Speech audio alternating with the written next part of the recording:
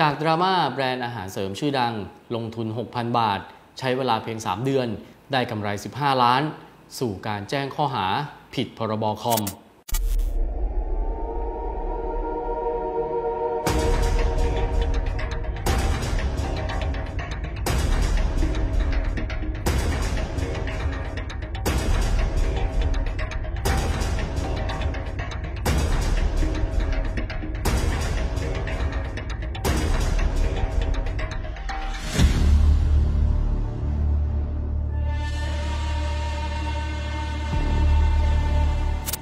จากกรณีของแบรนด์ผลิตภัณฑ์เสริมอาหารชื่อดังพรีมายา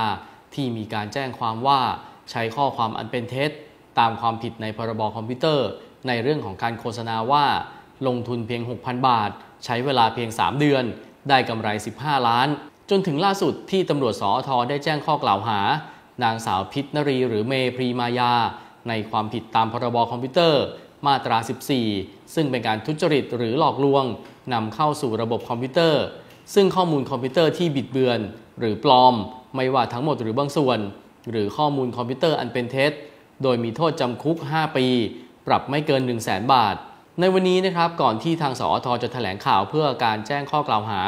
ทางเมพรีมายาก็ได้เดินทางมาที่กองบัญชาการสืบสวนสอบสวน อาชญากรรมทางเทคโนโลยีหรือสอทเพื่อมอบตัวและรับทราบข้อกล่าวหา โดยเมย์ได้กล่าวกับสื่อมวลชนว่า เมย์เข้ามาเพื่อแสดงความบริสุทธิ์ใจ ที่ผ่านมาเราได้ปรับปรุงและพัฒนามาตลอดในการทำงาน อย่างวันนี้ก็เป็นอีกข้อผิดพลาดหนึ่งที่เมย์พร้อมจะแก้ไข เมย์บอกว่าเมย์ทำงานไปเรื่อยๆ แต่ไม่รู้ว่าบางอย่างมันผิดข้อตกลง หรือผิดกติกาในสนามนี้ สุดท้ายแล้วตัวเองเป็นคนทำงาน มีความบริสุทธิ์ใจและไม่มีเจตนาใด ๆ ในการทุจริตในการทำงาน ซึ่งหลังจากการถแถลงข่าวแจ้งข้อกล่าวหา ทางพลตำรวจโทวรวัตรวัดนครบัญชา ผู้บัญชาการสอทก็บอกว่า จะต้องตรวจสอบข้อมูลว่าสามารถลงทุน 6,000 บาท ได้เงิน 15 ล้านบาทใน 3 เดือนจริงหรือไม่เออลงทุน 6,000 3 เดือนนะครับ15 ล้านอย่างเงี้ยนะครับคืออย่างเงี้ยมันมันเหมือนเป็นการลงทุนนะเนี่ยเราต้องตรวจพิสูจน์ต่อไปในซึ่งเราในการตรวจค้นเนี่ยเพื่อหาพยานหลักฐานเพิ่มเติมว่าอย่างเงี้ยมีการเกินจริงไหมนะครับมีการหลอกลงทุนไหมลักษณะการลงทุนไหม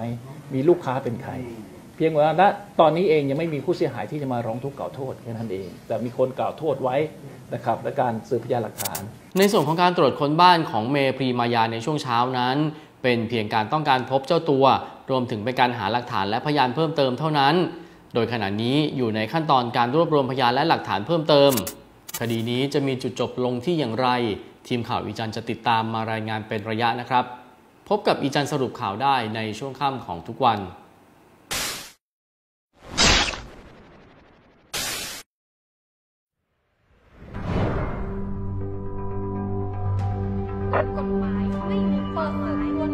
เปรี้ยวฆ่าหันศพ